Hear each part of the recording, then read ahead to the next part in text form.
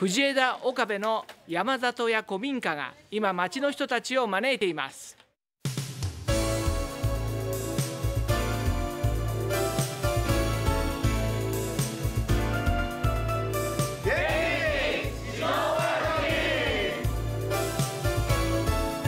この番組はご覧のスポンサーの提供でお送りします。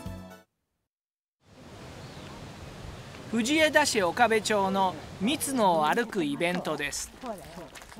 築150年の古民家が目的地でした。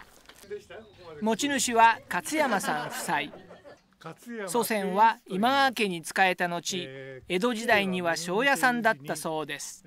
ようこそいらっしゃいました。玉取村と言います。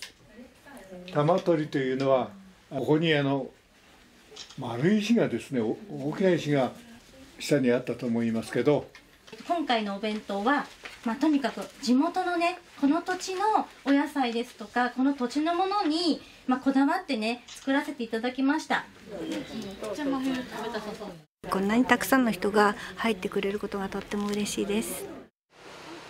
藤枝市の一ノ瀬地区では「おかえりなさい一ノ瀬」というイベントが開かれました里山の民家など8軒が縁側カフェでおもてなししました。参加者はお茶とお菓子をいただきながら一ノ瀬の人たちとの交流を楽しんでいました。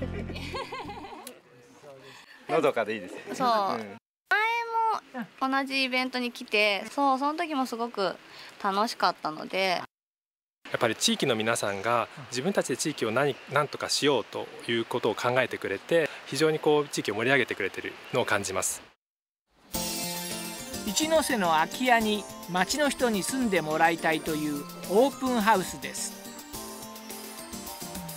家の中では着物をリメイクした洋服を展示。実は洋服を作った古藤さん神奈川県からこの近くの空き家に家族で移住してきましたやっぱりこう四季を感じられたりとか、あとはねこういう自然の中での子育てができるのが一番の魅力だと思います。町の人に自分たちの暮らしているところを知ってもらいたい。それが願いです。この番組はご覧のスポンサーの提供でお送りしました。